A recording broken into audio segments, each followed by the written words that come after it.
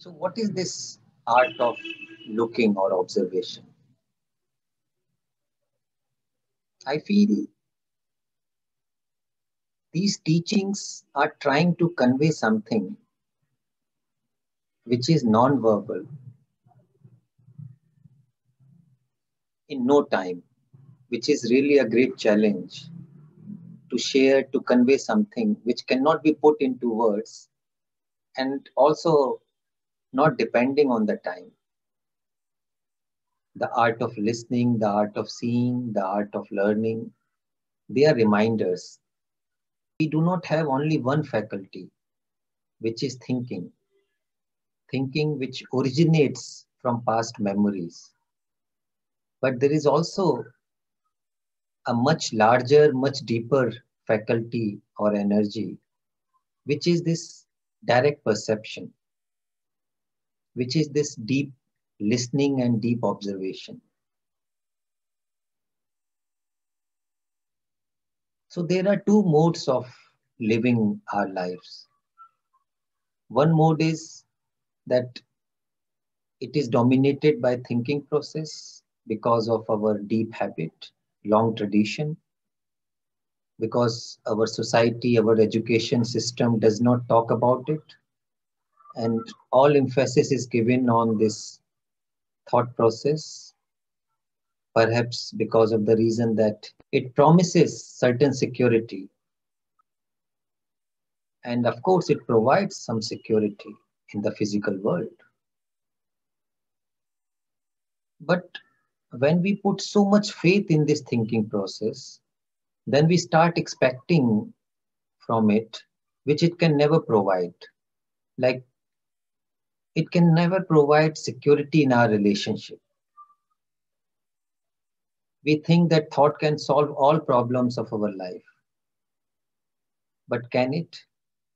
It can solve technological problems, physical problems, but it cannot solve the problem of relationship. It cannot solve the problem of looking life deeply, looking into oneself deeply.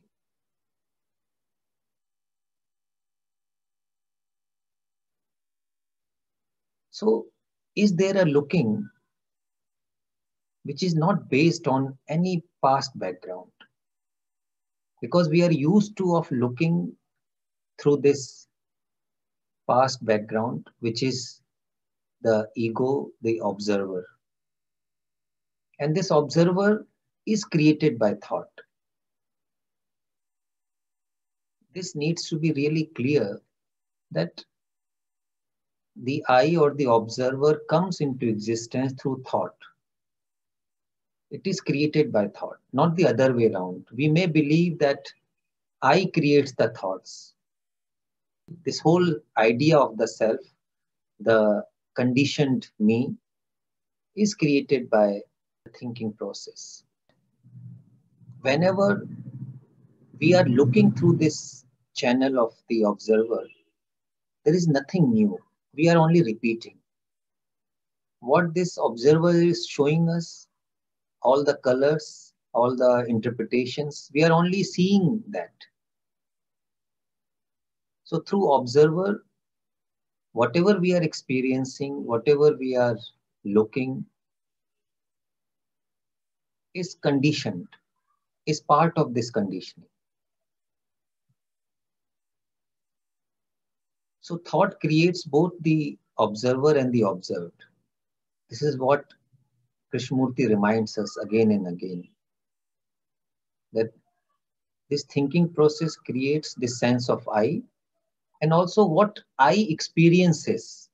For example, if I'm experiencing the sense of loneliness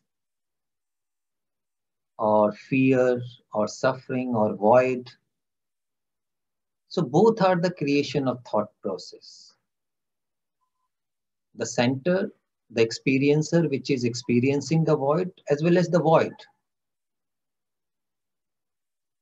That's why Krishnamurti says that both the observer, the experiencer, and the experienced, the fear or void, they are the part of the same process they are maintained, created by the thinking process.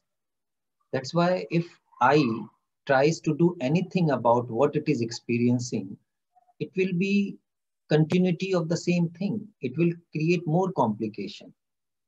But once it is seen clearly that both are the part of the same process, the same process of thinking, then our efforts to control what is being observed, they become silent. Then we are not wasting our energies in order to control what is, whether fear, void, because both the controller, the I, and what we are trying to control, they are part of the same process. Now, is there a looking or observation which is not from this center, which is not through the observer? And only then there could be a pure observation or pure seeing. We believe that for observation, for seeing, or for deep listening, an entity is needed, a center is needed, an observer is needed. But this is an illusion. There can be a seeing, there can be a total listening. Actually, listening and pure seeing, they take place when there is no observer. Observer is the block in the total perception of what is. So once there is a realization that this listener, the observer, the I is the block in pure observation, then it will become silent. Because there is a demand of life to watch to listen, to perceive completely. And once we realize that this is not watching, this is not really listening, it is only reacting. And reaction is not observing or listening. So then the brain as a whole understands that there is no security, there is no peace, there is no love in reacting from the ground of the thought.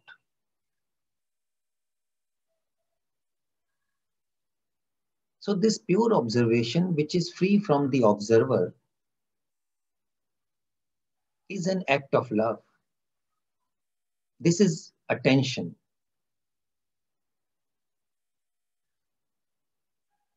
Which has no frontier, which has no center. When you remove the center, it becomes limitless. Whenever there is a center, there is a boundary, there is a periphery. So when the psychological center created by thought is silent, then the observation, the listening, the attention becomes limitless. So I feel the deeper invitation of these teachings is to observe, is to be attentive from that vast ground of silence.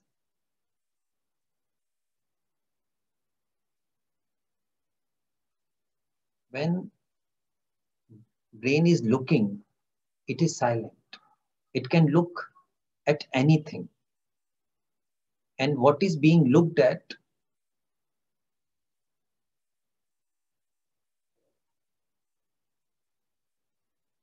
goes through transformation. If there is a looking at fear non-verbally, then fear does not continue in the same manner. If there is a looking at any suffering, the suffering cannot continue in the same manner. There is a transformation in the energy. The what is goes through the transformation. That's why what is is not static. It is moving, changing. But we want to make it static. When we are attending what is from the ground of the observer, from the ground of the memories. So can we ask this question? When we are meeting somebody, whether oneself or somebody, when we are meeting life. From what ground are we meeting life? If we are meeting life from the ground of the past memories, then it is very limited, very narrow. And just be, become aware of this fact that one is attending, meeting life from the ground of the past memories. This very attention brings freedom. The awareness of inattention is attention.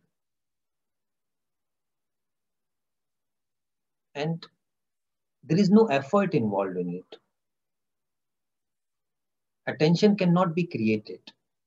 We cannot cultivate attention or awareness. One has to simply pay attention to the fact of not listening, the fact of not observing, the fact of reacting. When we stay with the fact and do not move away in any direction, then that fact goes through a transformation. This is what J. Krishnamurti says. If we do not escape from what is, the what is goes through a deep transformation. It's not that I will make the transformation happen because I is the block. When the I is not there, there is a transformation.